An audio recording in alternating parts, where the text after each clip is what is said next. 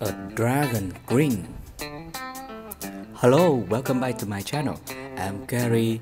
Today I will show you how to make an origami dragon ring. Okay, let's go.